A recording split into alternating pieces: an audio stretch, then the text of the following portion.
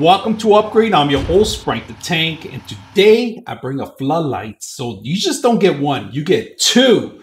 Two great floodlights. And we're going to talk a little bit about them because I'm shook about this product. I actually have in place and it's been working very well. Been testing it out and I like it. So it has 60 LED lights built inside.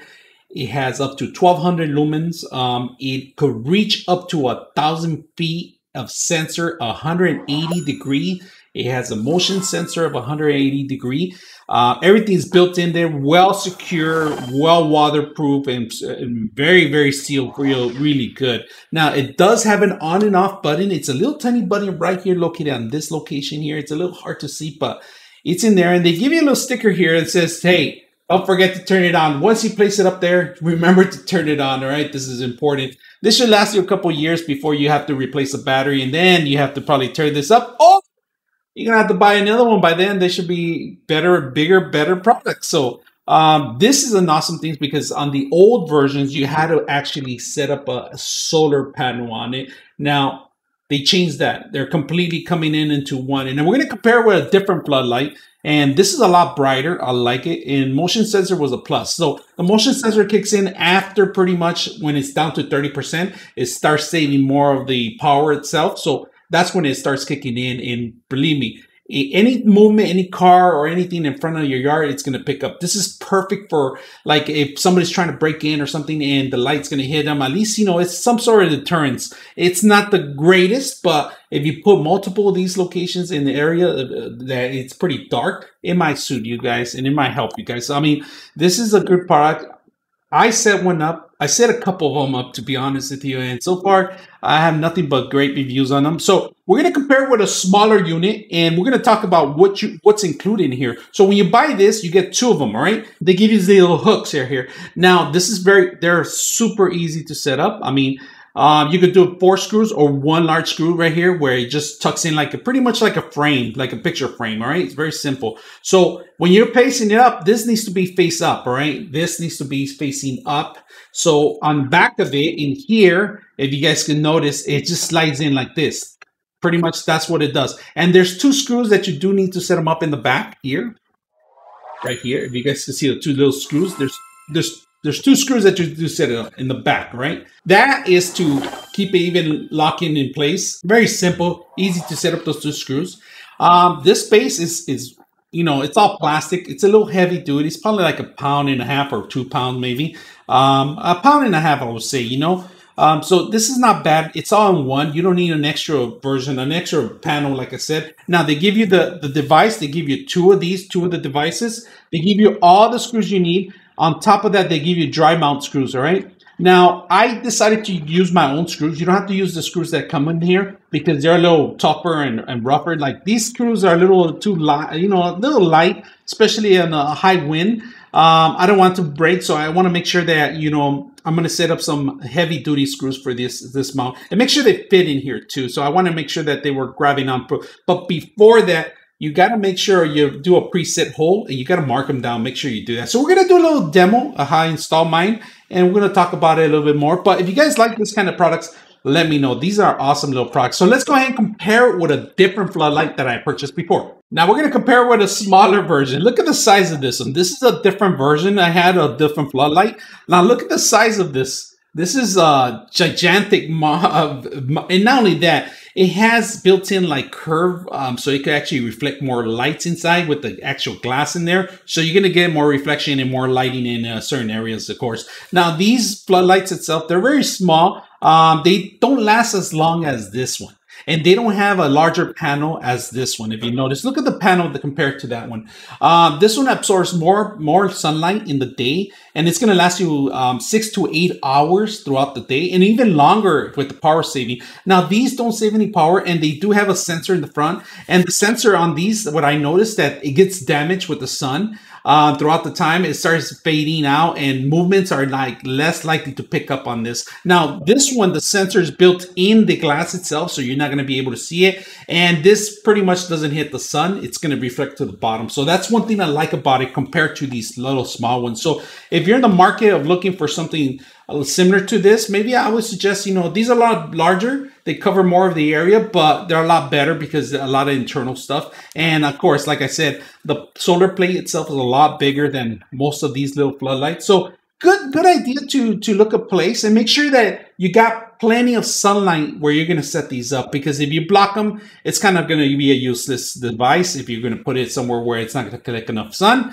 now if you live in a region that you get a, a couple of clouds here and there or rains it's still worth charging but you might not get the full hours that you require, right? So just make sure that you got plenty of sun in the location. And like I said, turning these on, like I mentioned, turning these on is easy. So you're going to click on it. It's going to blink a couple times and it's all set up. And then it turns off itself when it knows that there's lighting. Like right now we do have light, but if I place it down because the sensor is built underneath, it's going to turn on. So the sensor is up here. If you guys can notice, the floodlight sensor. It's covering here. You can't even see it from here, from this direction. But if you cover it, it knows that it's off. It, it covered, I covered it and it turns on automatically. So right now, you're not going to see the full effect of it because I do have a light in the studio right here. So I like this product. So we're going to go ahead and set it up and let me know what you guys think.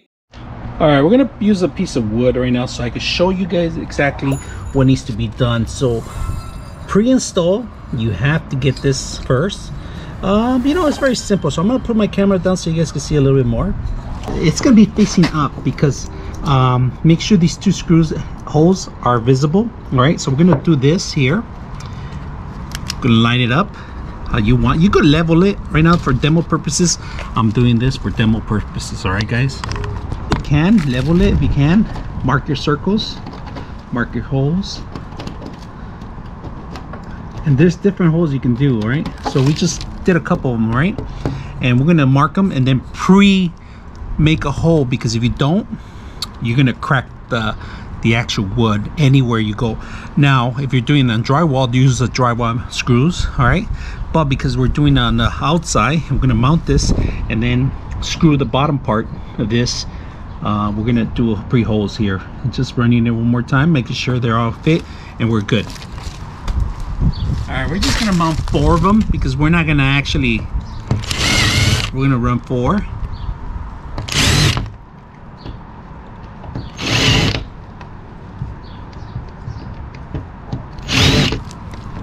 Do this. Now, where you're gonna put it up there. When you're gonna set it up there's an on button right here that you need to turn it on in order to hook it up. So right now we're just gonna see see how the back end right now is. We're just gonna and then in the bottom of it you guys can see the two screws holes that we have in here. Line it up screw it in and that's it. So we line it up we screw it in and that's how you mount it. All right very simple steps to mounting it. If you can notice there's a little gap in here that's fine that's the part of the gap. You take your plastic off you turn it on and at night and then we'll test it out again. So it lined it up here. So it could be perfect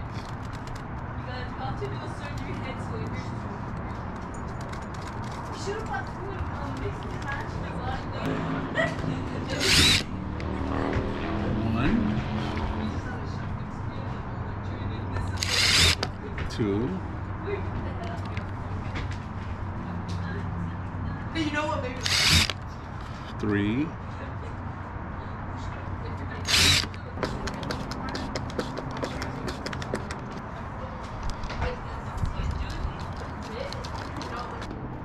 Hang it from the bottom, I'm going to screw it here. Hang it there. Light, little tiny screws and it's gonna get the sun. We'll put the little tiny screws here if you guys can see them those go underneath.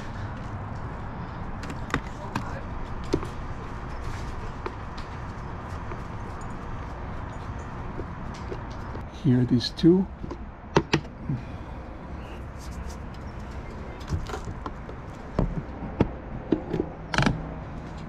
Right piece of resistance we got it going. We're gonna take this off all around. Now we're gonna push the button on this side right here. We'll push the button, which is can't, can't even see it. We're gonna turn it on and it's on. So it's ready to go. Motion sensor. Motion sensor at night tonight so let's take a look. Look at the light guys. It's super bright out here. Um, it's shining all this in here now I am able to see all that um, so anybody that walks into the door automatically turns on. So in case you you're at night trying to open up with your keys look at this. Perfect. Perfect light. Not not as super bright as you want it but it's just perfect enough to to light this whole place up here you know? Perfect enough to light this whole place up. So anybody comes in the front door you can see them perfectly when the light hits in there that's the brightness of it right now so far. So we're gonna stand in front of it so you guys can see it. And I'm right right underneath of it right now. And right now I'm getting at 54 lumens right here where I'm standing. Get it closer you get like 3000 of course. I'm not gonna get too close but uh, it depends you know it's bright enough here. It's getting all the light around here. It's working. I'm trying not to cover the sensor too much but um, we're getting we're right underneath of it all right? And this is how bright it gets so if you guys can see it. Not that bad. So if you guys have any questions or any comments let me know. I'm your host Frank the Tank and we're out